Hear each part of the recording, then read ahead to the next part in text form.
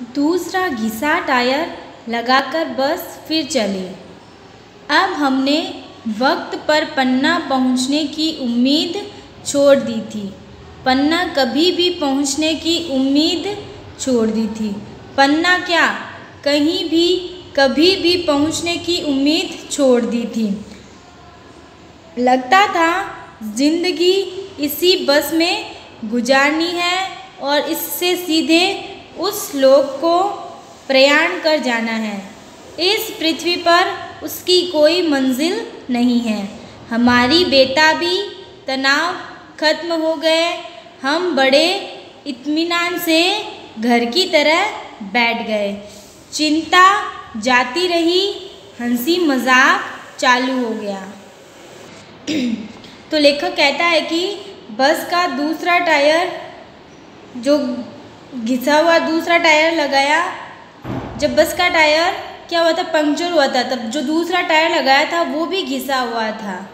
तो यह देखकर लेखक और उसके साथियों ने क्या किया? पन्ना पहुँचने की जो भी आशा, उम्मीद थी, उसे उन्होंने छोड़ दिया था। और पन्ना ही क्या? इस पृथ्वी पर किसी भी जगह पर पहुँचने की उम्मीद उन्होंने छोड़ दी थी।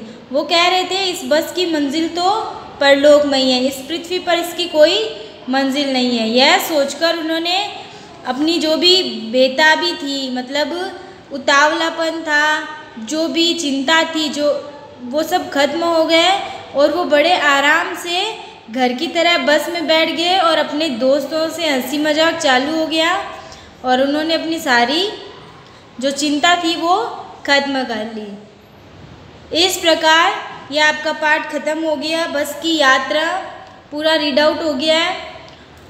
तो इसमें हमने देखा कि बस की यात्रा करते हैं एक पुरानी बस में और उन्हें क्या क्या अनुभव होते हैं इस बस में यात्रा करते हुए, वो सब हमने इस पाठ में देखा है।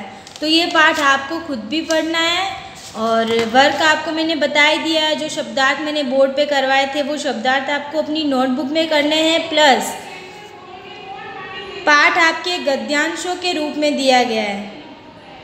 तो इन गद्यांशों के, हर एक गद्यांश के आपको बॉक्स में प्रश्न उत्तर भी दे रखे हैं, इसमें से क्वेश्चन पूछ रखे हैं। तो ये भी आपको अच्छे से पढ़ने हैं, ये भी आपका वर्क ही है। हर गद्यांश के प्रश्नोत्तर आपको रीड करने हैं, फिर पूरा चैप्टर आपको रीड करना है। और शब्दार्थ आपको अपनी नोटबुक में करने हैं। नेक्स्ट डे हम इसके क्वेश्चन आंसर करेंगे।